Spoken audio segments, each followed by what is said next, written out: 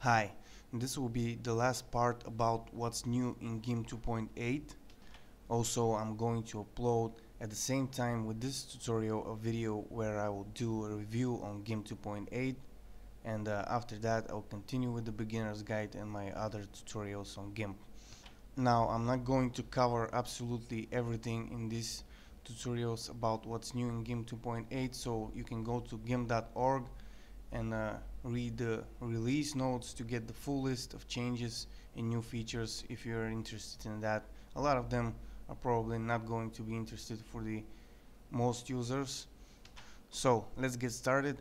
A lot of you probably noticed these new sliders here that are giving a lot of people, including myself, a hard time to work with to gain control. You need to get this uh, step, value step, if you see this right now to be able to actually control this.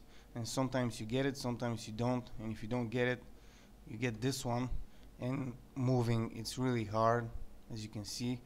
And uh, GIMP developers said that they're going to fix this in the next version. So looking forward to that. By the way I'm using GIMP 2.8.2 which is an update released a while ago with some bug fixes. Also a useful thing as you can see here is this um, ability to reset options individually. So I can reset only this one.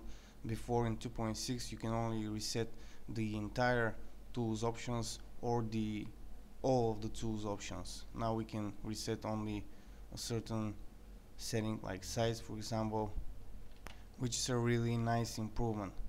Now next thing layer modes. You can go here and see that the layer modes now are being regrouped according to how they affect the image. Those that make it lighter or darker are in different groups now. This is also a nice improvement.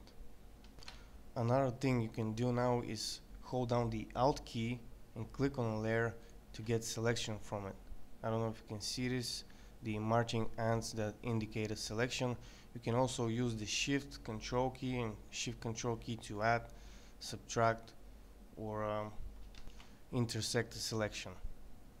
Also another useful feature is that you can now close the uh, toolbox without closing the entire application in 2.6 if you remember when you close the toolbox the entire GIMP uh, closed too but to be able to do that you need to be to turn this single window mode off and then um, let me show you something. I'm gonna turn this off now. And I can close this. And here from Windows I can now get a new toolbox. Or I can get here toolbox tools options and get it again here. Also they added the option here to hide the docks. Uh, before it was only the tab key. Now you can use this option here too to hide them or use the tab key to unhide them. Another useful feature is the ability to now group brushes or other patterns here. Um, to do that, first you need to create a new brush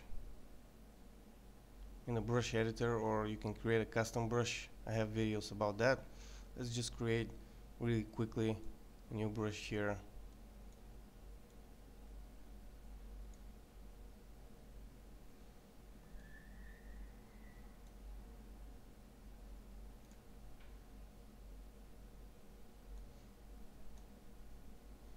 something like this and then you can go here enter tags for example random. I'll just enter this click enter and now if you go here to the filter you can select random and this brush will be here. So you can group your brushes you can create a lot of brushes uh, enter tags here and find them easily. So that's it for this tutorial and like I said I didn't cover everything all the changes and new features in these tutorials about that but uh, you can go to gimp.org release notes and read more about it.